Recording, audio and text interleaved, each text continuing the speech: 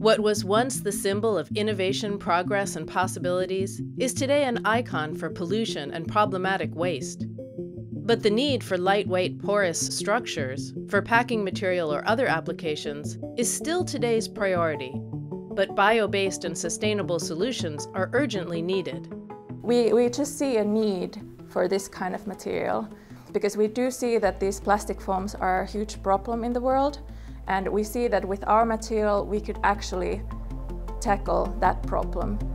Woamy, a FinnCERES Aalto University spin-off, is commercializing a continuous manufacturing process to produce cellulose-based foams. This unique technology combines the directional strength of wood with a bouncy, porous structure, resulting in an exceptional foam that is strong, lightweight, and fully bio-based. We designed it to be drop-in re replacement for styrofoam. Basically it's uh, thermomoldable, so if you have a heat press, you can take a sheet of this uh, foam wood material, put it into heat, heat press and compress it and it will stay in shape. On a microscopic level, the Woamy foam reveals a stable closed cell structure.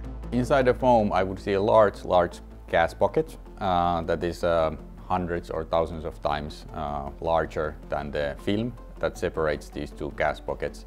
Uh, in the boundary layer, you have a stabilizing surfactant, biological material, complex molecule, cellulose-based, and then you have a thin liquid layer, and then on the other side you have another layer of this surfactant. The key innovation behind the technology relies on a deep understanding of wood chemistry applied to a novel production process for the creation of closed-cell porous structures. During the extrusion process, the bubbles elongate. And when you have elongated bubbles in your foam, the fibers uh, orient with these elongated bubbles. And so in, at the end, you get uh, fibers between uh, bubbles that are all pointing in the same direction. This gives uh, the strength in the orientation of the fibers. Kind of compression strength is 40 times stronger along the fibers than across the fibers. And this enables us to do very lightweight structures. In order to build a commercial product, the team had to develop a solid solution for a detrimental element to cellulosic products, water. So there are particles uh, that uh, what we can uh, tune to contain a lot of uh, surface groups that are either hydrophobic or hydrophilic. And if they are hydrophobic, the material becomes hydrophobic. This comes from the, how the material is produced. So uh, with different treatments, uh, you get different levels of hydrophobicity. So you have lots of, uh, lots of hydrophobic groups on a surface of a particle. And when you have this, you, the material as a macro scale will uh, endure uh, water. The startup has been well received by the market due to the clear sustainability promise. Now the focus is to ramp up production to fulfill demand. The main challenge right now is to respond to the big need that is out there.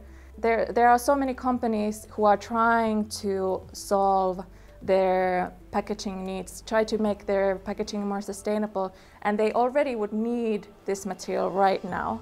Woamy is looking to offer products for a vast range of applications uh, anything lightweight that requires lightweight and strong materials. So everything that is movable basically. Airplanes, cars, uh, structure material for that. Buildings, so for instance insulation. These are closed cell bubbles, so they are very good insulation. You can tune the orientation, you can uh, tune the, uh, how the heat conducts inside.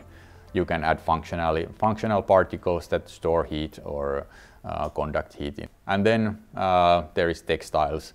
So having, having uh, replaced plastics in uh, jackets, shoes, uh, insoles and so forth.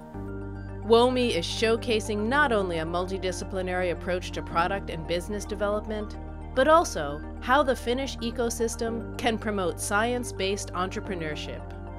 You, you need people from all different kinds of disciplines. Like we have, from the beginning we had the scientists, but then uh, we got designers on board and mechanical engineers on board, and people from the business background. And this support structure that there is here in Finland with the university, with FinnCERES or with Business Finland, they are these kind of organizations that actually they want you to succeed. It's easier to take these steps when you know that you have these people who are rooting for you.